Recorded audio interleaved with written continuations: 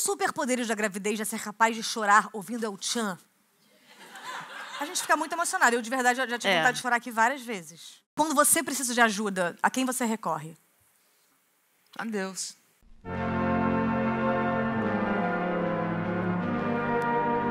Então, é- é exatamente, os Eu tô com hormônios.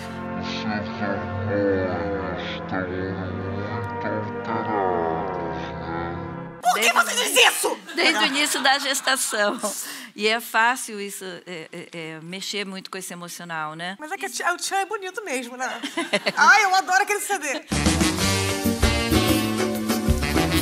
Boa noite, amigos. Boa noite a todos. Menos pra quem está agora descobrindo o preço de ter um bebê. Carrinho de bebê dobrável e material leve. Preço, 10.500 reais. Chupeta com Wi-Fi e radar anti-beijo de desconhecidos, 8.900 reais. Confortável, berço de dimensões adequadas, de até dois dormitórios, vaga, playground, varanda gourmet, 26.600 reais. Montante de 5.500 fraldas para os primeiros três anos, 9.100 reais. Móvel do Romero Brito, 100 mil para não termos. E valor do preservativo, a famosa camisinha, 4,20 contém 3 unidades. Fica aqui a reflexão, só o cu resolve. A senhora não pode parir por mim? Você vai parir muito bem. Como você sabe, é médium? Não, Tô sem dilatação. não, porque não preciso de dilatação agora, Ah, né? não, Você vai precisar no parto só. Tá, Mas não dá tá, pra medir tá já pra tá longe, bom? não, não. Tá cedo, tá muito cedo. Tudo vai passar. Mas como vai passar? Da- Daqui a quantos anos, senhora? Porque me falaram que ia passar com três meses e eu já tô com mais e não passou nada. Vai, vai Amo minha passar. filha, mas caramba, ela dá aquela cambalhota maneira no meu destino, não. Como é que você conseguiu dar conta de ser mãe de três filhos? Ou você era daquelas grávidas plenas que falam, ah, achei que era apendicite, eram trigêmeos. Não, não. Não, os três primeiros meses foram horríveis, eu vomitei muito, eu Ai, fiquei que muito bom. enjoada. Ai, eu eu dizia feliz. assim, eu gravava off pro jornal e dizia assim, gente, quem disse que ficar grávida é bom? É, Era muito é. desesperador. Mas no meu caso, depois passou. E eu fiquei Ah. muito plena. A gente já ficou, lembra? Lembro. Mas o que que houve, hein? Só pra gente ter aqui essa, esse É, esquemão. Não, mas é o que que houve? A gente, a gente ficou ali. é, O que que era aquilo ali? Que ocasião foi aquela? Aquilo tava bêbado é, no cal, da calçadona, no calçadão. Foi num calçadão.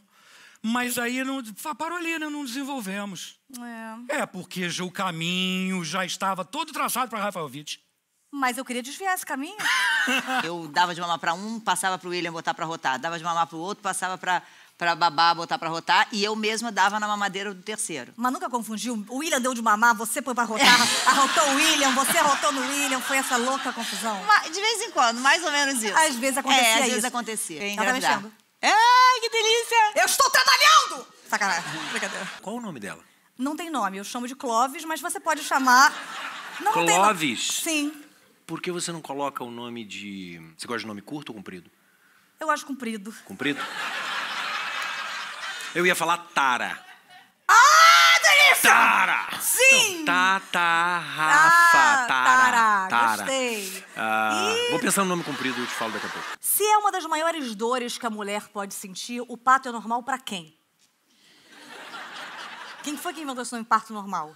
É normal para Se a mulher, mulher falece ao mesmo. contrário. É ótimo para a mulher também, porque ela se sente poderosa, feliz, vai Ma- mas facilitar. dói, né?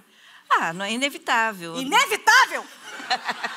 Nasceu, gente, nasceu. Gente, eu fiquei Põe na minha preocupada. bolsa. Ah, Põe na minha bolsa, nasceu a me criança. dá aqui que eu cuido, me dá aqui. Eu já cuidei de ali, três, eu fico de quatro. bolsa, Não, gente, fala o seguinte. Que isso, Fátima? Era meu filho, brother. Mas não tem nem nome essa criança ainda, Mas não dá pra ter apego, meu. assim. Caraca, A Fátima Fofa não é assim. Tacou a cabeça da Não. criança na parede. Pode dar um, um dois antes de, antes de parir? Um, assim, ó. U, pari, tum, tal, tum. Eu já vi pessoas fazerem isso e tá, dá tudo certo. Ai, eu te amo tanto, eu te amo tanto! Graças a Deus.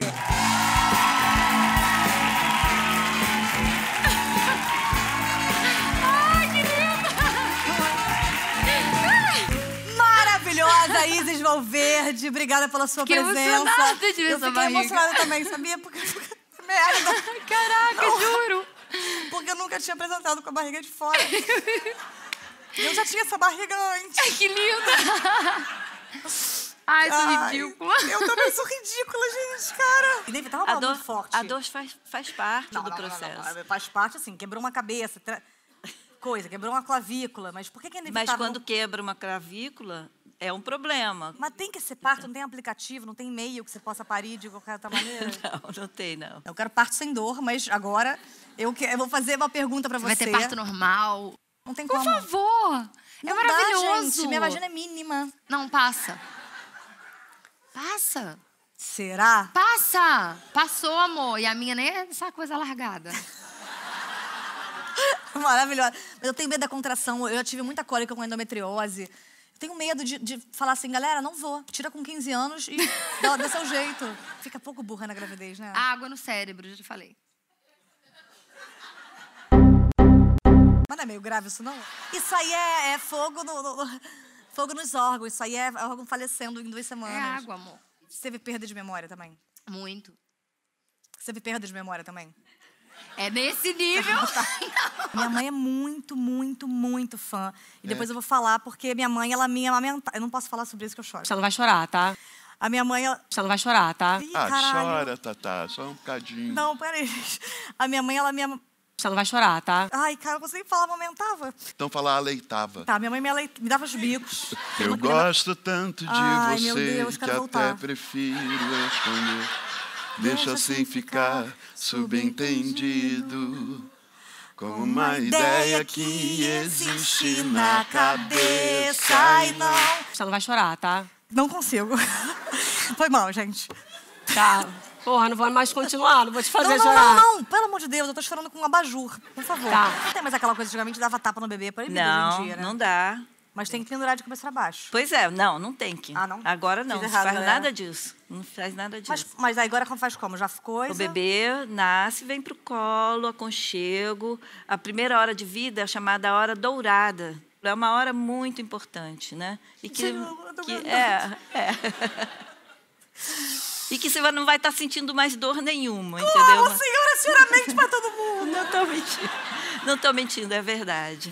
Mas ser mãe eu acho que gera muita culpa mesmo, porque a gente não sabe como agir, a gente vai sempre errar de alguma maneira. Eu, por exemplo, tô gravando, tô passando mal, eu saio daqui, vou fazer ultra, que eu tenho medo de ter feito demais. E aí falaram que você não abre mão de trabalhar. Eu não quero abrir mão de trabalhar, ao mesmo tempo eu não quero perder nada da minha filha. Morro de medo de que tipo de. Ai, mas chororô. Não, mas é sério. Morro de medo de que tipo de mãe eu vou ser, se eu vou ser uma mãe boa o suficiente, se eu vou conseguir não. Puta que pariu. Não, mas é sério, se eu vou, se eu vou conseguir não gerar na minha filha traumas, sei lá, sabe? Eu só quero, tipo, facilitar a vida da minha. Ai, gente. Daí a gente vai errar, tá?